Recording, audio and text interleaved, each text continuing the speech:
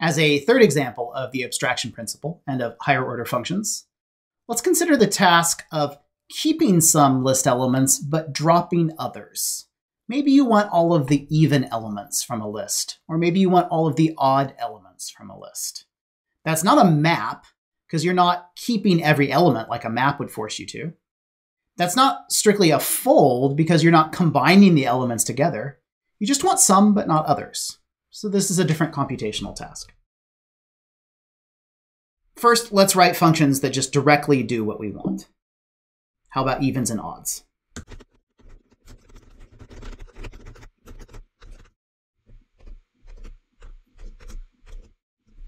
And you'll notice I got so bored writing odds there that I just copied and pasted code.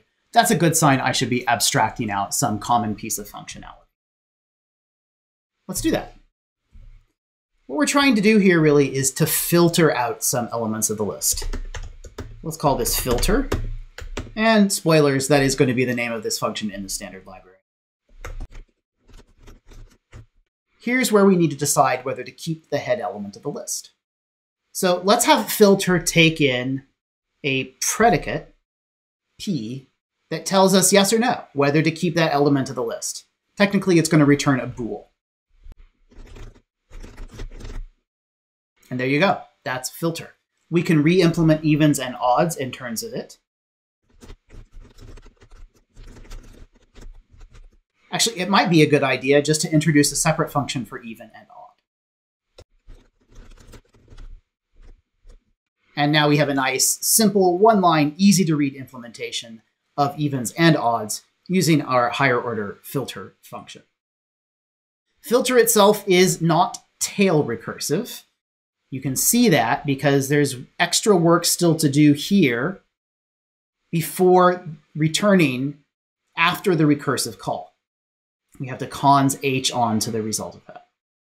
If you wanted a tail recursive version of filter, you could build that too. Let's try building it together. The process for building a tail recursive version of a function generally works as follows.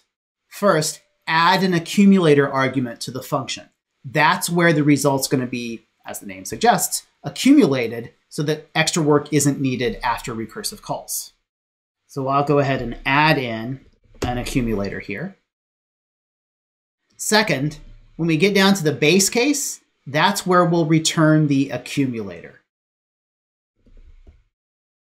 Of course, we've lost the notion now that we start off with the empty list. So let's actually make this a helper function. I'll call it filter aux. Let's get that right in both places here. And filter itself will be the result of filter aux on the same predicate with the initial accumulator of empty on the same list.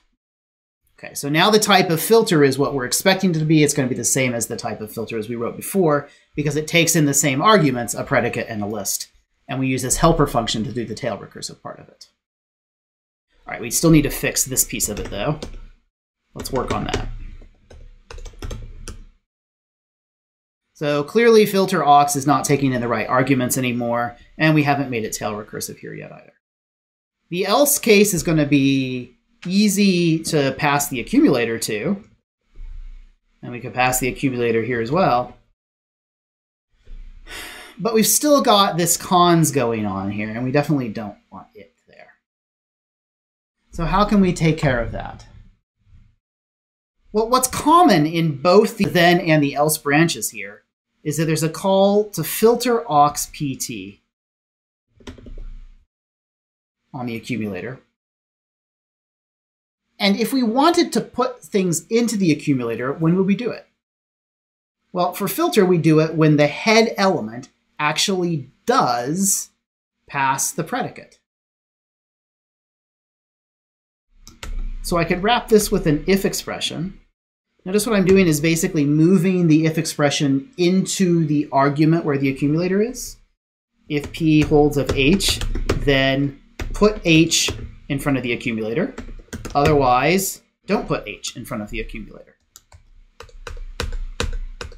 Now, I think I have my arguments in slightly the wrong order at this point because the recursive call on the tail of the list needs to go out there. And this becomes the new accumulator. At this point, I really don't need the begin and end anymore. I don't have a nested match or if expression. And I'm almost done. In fact, it might be instructive for us to run this code at this point and see the one thing that's still broken with it. So our last implementation of filter is the tail recursive one.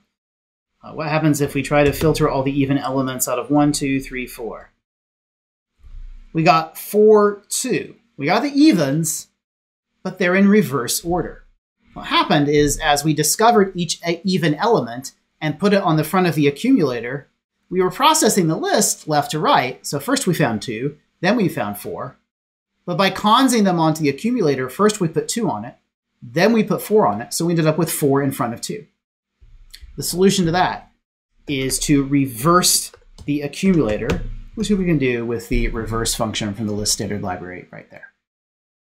So this is a second time where we've talked about tail recursion and reverse has come up. Last time we talked about you might need to reverse a list on input before running it through a fold function. Here's kind of the opposite case after you do a computation that you've made tail recursive, you might need to reverse the list as a result to make it what you expect. Again, doesn't increase the asymptotic complexity uh, in terms of time that's required for the function. It does improve the asymptotic complexity of space because it can use constant stack space instead of linear in the length of the list.